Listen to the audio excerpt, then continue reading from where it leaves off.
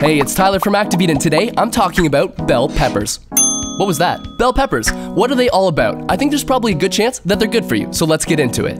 Now, bell peppers are some of the most common peppers you can get, and they're known by many names, including capsicum, a John's head, or sweet peppers. It's a colorful group of peppers, the most common being red, yellow, and green, but there's also orange, vanilla, and purple. I was surprised to find that red peppers are actually just ripened green peppers. So the next time you're at a party and feel like making an awesome conversation piece, let people know that little fun fact. And when they don't believe you, tell them that Tyler from ActiveBeat sent you.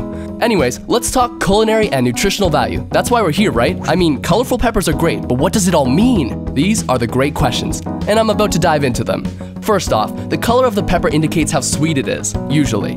Green peppers are usually the least sweet and more bitter than yellow or orange peppers. Red peppers are pretty much the sweetest. So, now you've learned Tyler's sweet scale of peppers. Print it off and put it in your kitchen, or I don't know, next time just remember that when cooking up some peppers.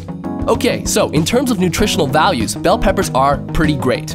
They are rich sources of antioxidants and vitamin C. In terms of our sweet scale of peppers, you'll find that red peppers typically have more vitamins and nutrients than green peppers red peppers have twice the vitamin C content of green peppers.